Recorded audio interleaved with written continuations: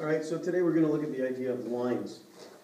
We have four points here, and if you connect them up, it looks pretty much like we have a straight line going on here. But um, we want to be able to check to see algebraically, calculation, to see whether these actually form a line. So the way we're going to do this is to compare the slopes. Slope is equal to rise over run. So we're going to compare the slope between this pair of points and the slope between the next pair and see whether they give us the same value. Delta y is the rate of change, or at least the change in the height, and that's going to be equal to 10 minus 4.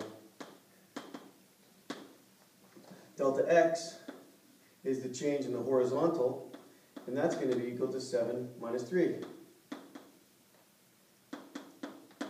So that the rate of change between these two points is equal to, and again we use rate of change for now, 6 over 4, which reduces to 3 over 2.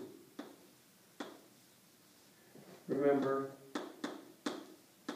we're going to call this slope.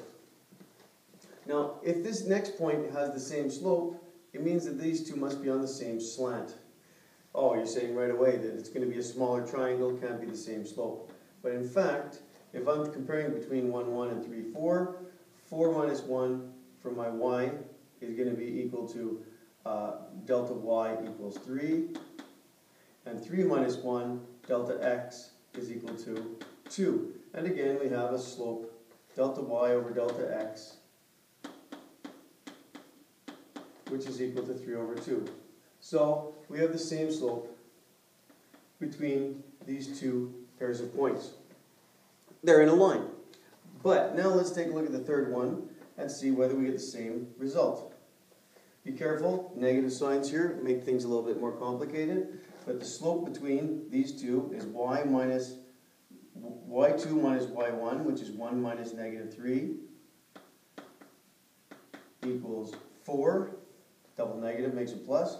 And between 1 and negative 1 is going to be 1 minus negative 1 equals 2. And the slope between these pair are going to be delta y over delta x equals 4 over 2, which is equal to 2. Different slope. That means these points are actually not in a line.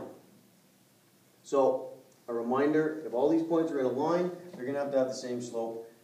If you actually drew this properly with a ruler, you would see that that line doesn't go through.